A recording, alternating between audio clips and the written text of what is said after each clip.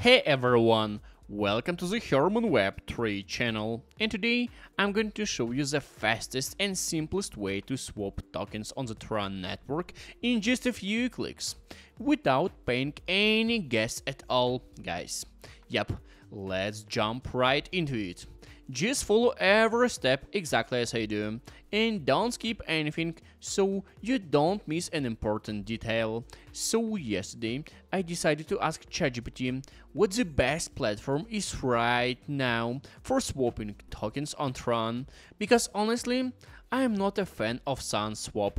Wallet Connect barely works, everything lags, and a couple of times my tokens literally got stuck because of SunSwap.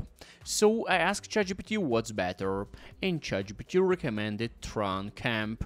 I already tested everything, and honestly, it works perfectly. This platform is a complete life hack, because it pays the gas for you, and you don't even need TRX in your balance to make swaps on the Tron network. And the coolest part, Everything runs on a fully open smart contract, so it's completely safe, transparent, and you can check the contract on Tron Scan yourself. Alright, let me show you how it works. Everything here is super simple. First, choose a token pair you need. All popular Tron assets are supported. Let me pick Sun and let's say mm, USDT.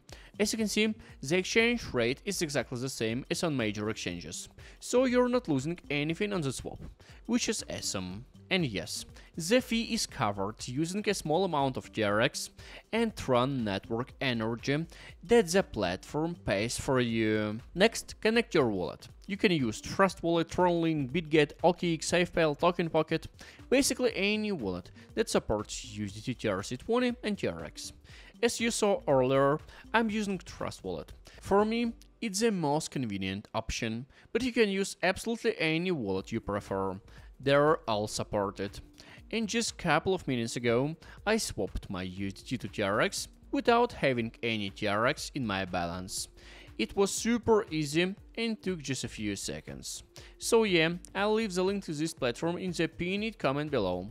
Just wanted to share this with you guys.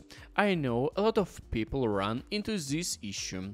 This is Hermann, take care, and I'll see you in the next one. Peace.